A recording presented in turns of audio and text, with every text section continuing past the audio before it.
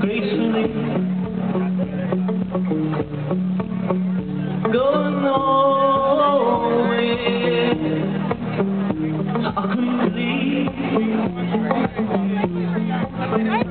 I'm over.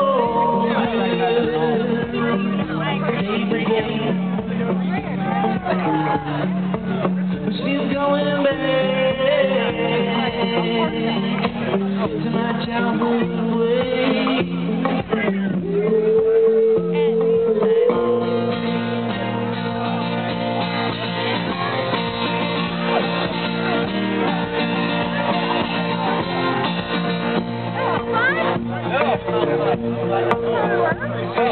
You